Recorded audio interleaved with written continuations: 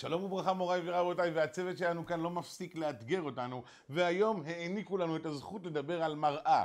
מראה, ראי בלשון העם. מה יש לנו ללמוד מהמראה מוריי ורבותיי, והיום לא יום רגיל, היום ראש חודש אייר, מהלילה הזה מתחיל אייר, שראשי התיבות שלו, אני השם רופאיך.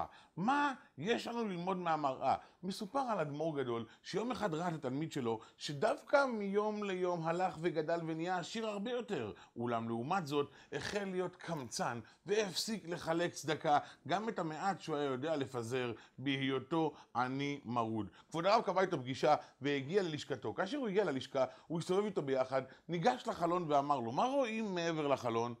התלמיד התפלא על השאלה, אבל אמר לכבוד הרב, רואים את הרחוב, רואים את האנשים העוברים והשבים. ניגש איתו כבוד הרב יחד למראה שהייתה תקועה בטרקלין הגדול, ואמר לו, ומה יש לך לומר כאן? מה אנחנו רואים כאשר אנחנו מסתכלים במראה? אמר לו אותו עשיר גדול, אנחנו רואים את עצמנו. אמר לו כבוד הרב, האם תוכל להסביר לי מה ההבדל בין מראה לבין זכוכית שבחלון, שדווקא הזכוכית שבחלון מעניקה לך את הזכות לראות אחרים, לעומת המראה שמעניקה לך את הזכות לראות אך ורק אותך בעצמך? אמר לו העשיר, אני לא יודע. הסביר לו כבוד הרב, יש כסף שמורחים אותו. צבע כסף שמורחים על גב הזכוכית ומאותו רגע היא הופכת להיות מראה. זה מה שקורה לאדם שיש לו כסף. הוא מפסיק לראות את האחרים ומתחיל לראות רק את עצמו כמו מראה שמראה לך את עצמך.